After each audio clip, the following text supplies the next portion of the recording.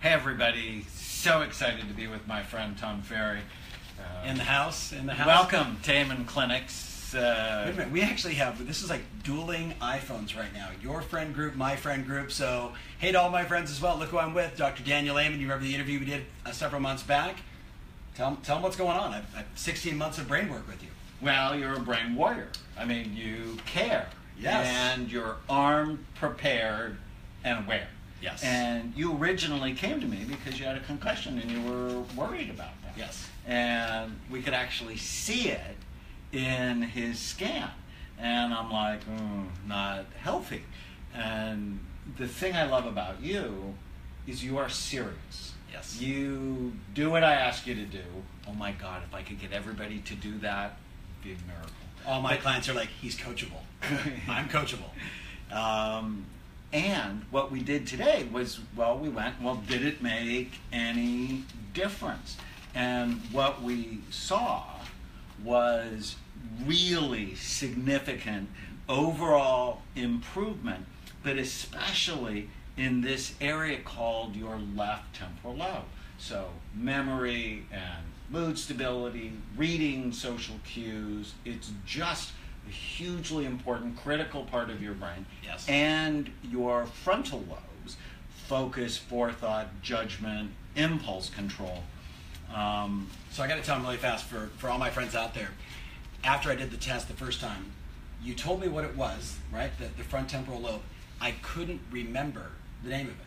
I was literally experiencing things that I had remembered forever. Think people, places, suddenly, all of a sudden, I was just missing things. Right? I'd never experienced that before in my life, and that was a big part of the reason why I came to you. And now, I just have this. Um, it just feels like my brain is so much more clear, active, on point. I remember things that I need to remember. I'm in the moment.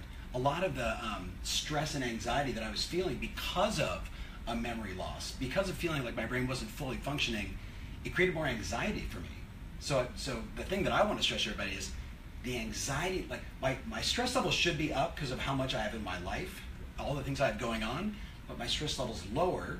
And, and tell them about the cognitive side. I know you're going to jump into that, but I'm, I'm, I'm a fan. I'll just say that. So this was his original um, active scan. So blue is average activity. Red and white are the most active parts of the brain. And his stress brain is up, call it the limbic or emotional brain but his cerebellum, which is at the back bottom part of the brain, is critically important. It's 10% of the brain's volume, it has half the brain's neurons. And in a healthy scan, this is red and white, and this sort of is a weak red. But when we did his follow up scan, his cerebellum just so much better, so healthy, so active, and the, the stress is lower. So as you feel it, mm-hmm. we can see it, and with a better brain comes a better life and all those things that. And it wasn't was it hard?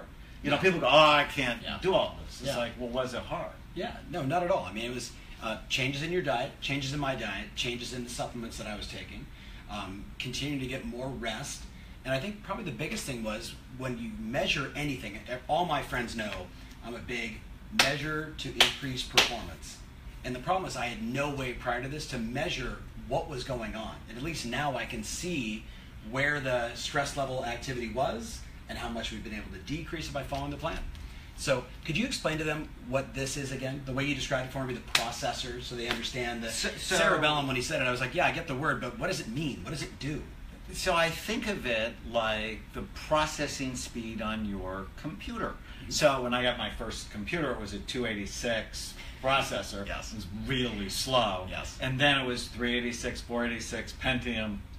And when your cerebellum's low, like yours was in the first scan, it's sort of like you have a 286 computer mm-hmm. when you live in a fast Pentium world and with all you do and all of your fans who are high achievers, when, when you do all you do, but you're not processing, right, everything in your life becomes harder.